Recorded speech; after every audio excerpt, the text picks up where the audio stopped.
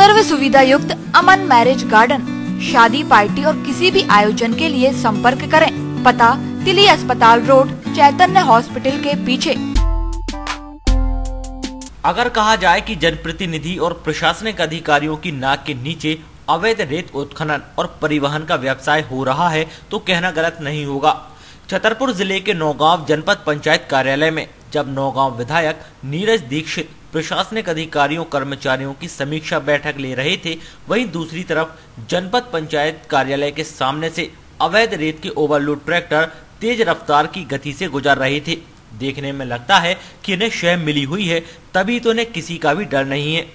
वहीं अवैध उत्खनन को लेकर विधायक नीरज दीक्षित ने समीक्षा बैठक में रेत के अवैध उत्खनन और परिवहन पर दो दिनों में रोक लगाने की बात भी कही है। समीक्षा बैठक में स्वास्थ्य विभाग जो बिल्डिंग में कमियाँ थी, उनको जल्द से जल्द उनके टेंडर डाल के उनको पूर्ण कराया जाए। पानी की जो योजनाएँ हम लेके आए हैं, उनके टेंडर डले कि नहीं डले, वो कब तक खुलेंगे और कितने दिन में आप बना के दोगे?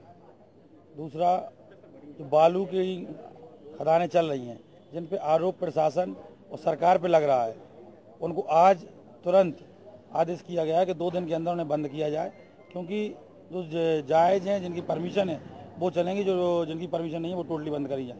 मैंने खुद देखा, इसीलिए तुरंत आदेश किया कि आज ही आप लोग जाके टीम गठित की एसपी से भी यही फ़ोन पे बात की कि पुलिस की हमें पूरी टीम, राजस्व विभाग की टीम, दोनों लगा के हमें दो दिन के अंदर पूरी खदानें बंद चाहिए। नहीं नहीं, प्रशासन ने सुना था, मशीनें पकड़ी गई थी, आज भी थानों में और, मशीनें जब्त हैं। आचार संहिता का इनने फ़ायदा उठाया है, उसके बाद पुनः इनने चालू की थी। जब आज हमने दोबारा दो चार छः दिन से हम देख रहे हैं। इसके कारण तुरंत समीक्षा बैठक ली गई और इसको बंद कराने का काम किया। अब देखने वाली बात होगी कि इस पर कब तक अंकुश लग पाता है। नौगांव से विनोद विश्वकर्मा सागर टीवी न्यूज़। सर्व सुविधा युक्त अमन मैरिज गार्डन। शादी पार्टी और किसी भी आयोजन के लिए संपर्क करें। पता दिल्ली अस्पताल रोड चैतन्य हॉस्पिटल के पीछे। तो संपर्क करें। Nine three two nine four two seven six zero three. 7879281094.